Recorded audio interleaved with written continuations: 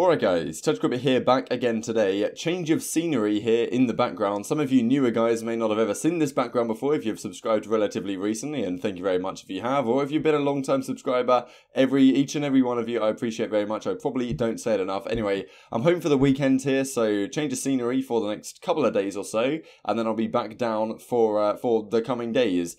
In the coming days, we are going to get some announcements related to Dallas and Team Envy, as has been talked about over the last day or so from Hastro, of course, CEO of Team EnVyUs, and we will go into that announcement in a few minutes' time. In addition, of course, to Alexx being confirmed onto this Minnesota team. I'll try not to say midnight. I know you guys catch me out on that, and uh, I catch myself out because MN reminds me of the Midnight team from last year. That's how I would see it, like abbreviated. And then Optic, well, formerly Optic Midnight, is now working on their content side or whatever exactly she is doing over at Minnesota. So then that confuses my brain even more. I'll try and get it correct. Alexx is joining that team. I think a lot of you guys are going to agree with me that this is a pretty damn good pickup. We're going to go into that in the coming minutes. Like if you guys enjoy, subscribe if you are new as always. I would greatly appreciate it. Thanks first of all for to Seth for pointing this clip out out to me here on um, Mohac. I haven't heard of this guy. I guess he's some sort of S&D star.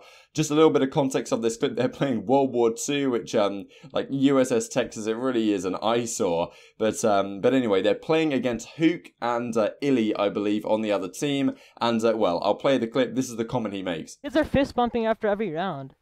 Are they, are they with each other IRL? Uh, yeah, but we can't say where. Alright, let's go, Brent. Every gunfight Wait, again, Huke too. Is it Huke, Shotzzy, and him? Dude, are you freaking dumb? We can't talk about this. Remember, like, come on, this not announced yet. So you can see from the whole clip, his teammate said like, uh, uh, "On oh Huke, iLLeY, Shotzzy," because Mohak himself said, "Oh, they're fist bumping in real life." Right, that was the that was the the key little bit of giveaway. And then he mentioned Shotzzy as well as teammate. So obviously we kind of knew this is what the rumor's going to be, and well, the rumor is three, these three plus Clayster plus Crimsix, but that will be announced next week, as we'll go into in a second here, related to what uh, what Hastro had to say yesterday. But moving on from this, we have some logos based on a couple of these teams. The Paris Legion, a rumored name, have this logo. I, I think you call this like a fleur de lis or something like that. Um, I forget exactly what you're meant to call it, but pretty cool. I think this is pretty well aligned with the logo that they have for their um, their Overwatch League team. It's nice to see that that kind of consistency at least over the couple of brands. And also we have a confirmation on the same website of this being the design for uh, the New York subliners. Now, um, you know, this for Paris pretty damn nice logo. I kind of like the vibe they're going for here. This is Grim. What is this? Why is New York like so small?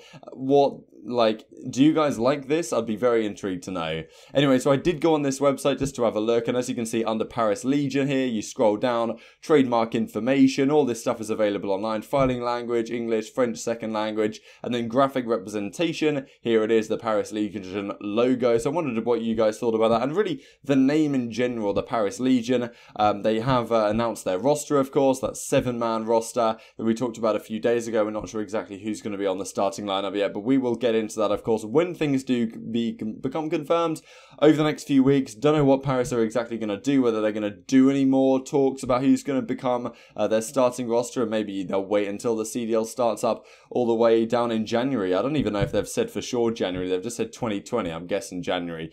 Regardless, pretty interesting logo. Let's move on here then to what uh, Hastro had to say. I'll play a couple of minutes of this clip for you guys. First part, he talks about exactly what the future holds for the next week of Dallas Call of Duty. And then at the end, there's a little hint towards the rumor for the Chicago team. So, uh, so I guess let's roll it. Uh, I'll tell you guys a little bit about what's about to happen. Uh, next Monday, we will start announcing our roster. So every day starting next Monday for that entire week, we will announce one player every day on our Twitter account and other social media profiles. So Dallas, uh, COD underscore Dallas is the Twitter account that you can follow to go and uh, wait for these roster signings. So uh, again, Monday, Tuesday, Wednesday, Thursday, Friday, you'll have a new player announced every day next week, leading up to us revealing our brand name and logo uh, on Saturday, October 18th. Uh, sorry, Saturday, October 19th. Uh, so on the 19th, we will have a live stream that goes out on multiple streaming platforms around the world, and uh, you will be able to check out our new team brand, our team name, and get to know a little bit more about what we're doing with Dallas Call of Duty. So just before we go into that second part of the clip, as he says, next week from Monday all the way through to Saturday, I believe the way he phrases it, there's going to be announcements. So Monday, Tuesday, Wednesday, Thursday, Friday, they're going to do the player reveals. I wonder which order they will do the players in. My guess is they'll probably start with Huke because he's probably the most obvious, the most likely to be staying, been with Envy a very long time. Then which direction will they go? Will they jump straight in with the Clayster and the If those rumours are true, or will they go Ilian Shotzzy first? And uh, and leave the the bigger dogs, the veterans for later. I wonder how how they'll play it. And then on Saturday, the Dallas Empire is the rumor, but that may have changed because Hastro did talk about behind the scenes initially how well um, there's a lot of names that they have, have trademarked. They've been looking at different options. The Empire was one of them that we thought was the most likely, but they also have trademarks for like the Republic or whatever. So we'll have to see exactly what happens there next Saturday. And there also may be some other um, announcements regarding their coaching staff and that, which we haven't really heard of yet. We have had rumors that Mutex is going to be like an S&D analyst, but some of the coaches potentially for this team that I'm hearing about are very, very interesting. We'll go into that in a couple of minutes time right here. Uh, just to finish off here on this Dallas update, as uh, Kevu, or apologies if I'm pronouncing that awfully, whatever, he says, uh, nothing but love and respect to all the old Optic guys. I hope they do well over there, which is pretty much a paraphrasing of what Hastro does say. So I'll play that little bit of the clip now related to the Chicago team. You know, I got nothing but love and respect for Hector, and you know, when we figured it out, we weren't going to be able to make it happen. I just told him like, go go do, go take that deal, man, because you know that's a good deal, and, and you're going to be in good hands. So.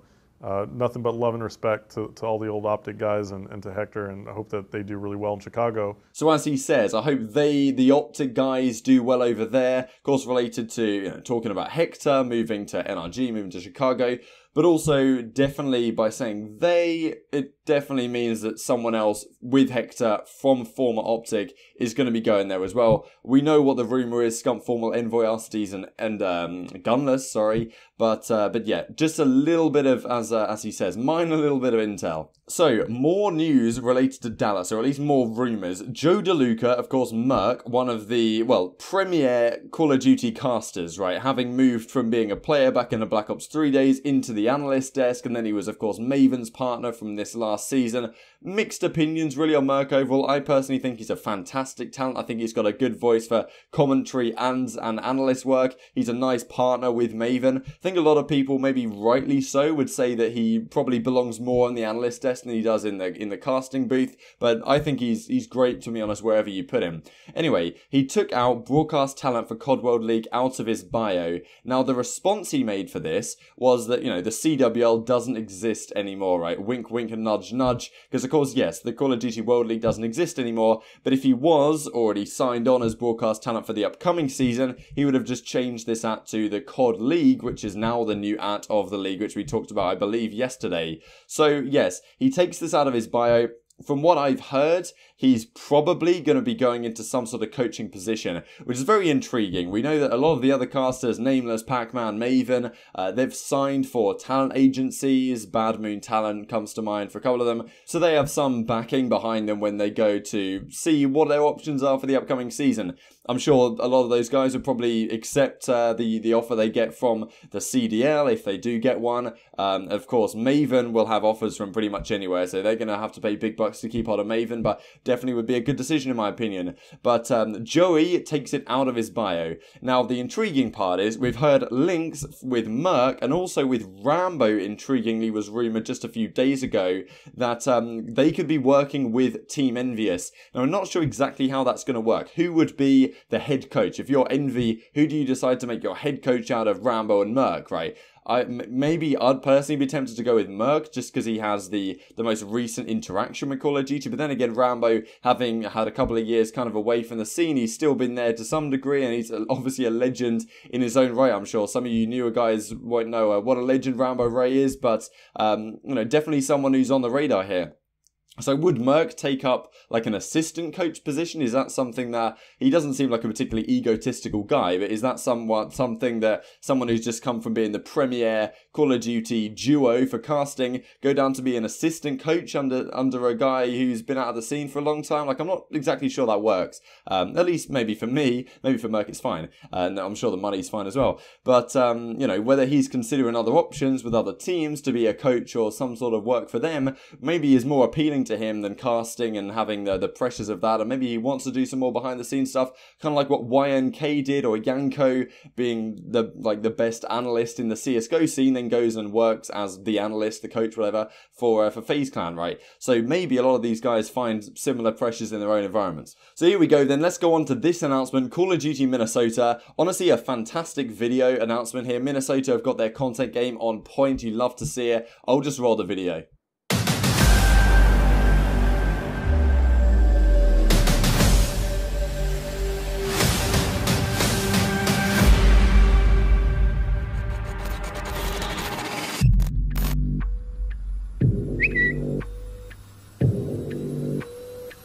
Hey Siri, how do I get to Minnesota? Getting directions to Minnesota. Please make sure your seatbelt is fastened.